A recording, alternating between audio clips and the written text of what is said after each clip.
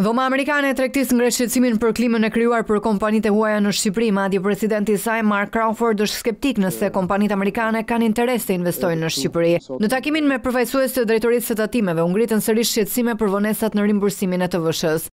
Kur ka tvsh ose ka taksat që nuk janë të qartë ose nuk janë të rimbursuar mbase është diçka që mund të jetë pengesë për për amerikanët të investojnë. Për vitin që kaloi llogaritet në total afro njëqind e trembëdhjetë milionë dollarë tvsh e parimbursuar. Përfaqësues të tatimeve thonë se kërkesat për rimbursimin e tvsh-së janë përpunuar në kohë por nuk është bërë disbursimi i parave. Faktet respektohen në mënyrë strikte nga administrata tatimore, nga kjo drejtori e rimbursimit në DPT. Vonohet rimbursimi, po ajo që e vonon më tepër është vonesa në përfundimin e kontrollit tatimor. Pritet që rimbursimet e prapambetura të përfundojnë brenda gjashtë muajsh. Shqetësim tjetër për bizneset e Dhomës Amerikane është informaliteti dhe mungesa e udhëzimeve për ndryshimet fiskale dy mijë e nëntëmbëdhjetë.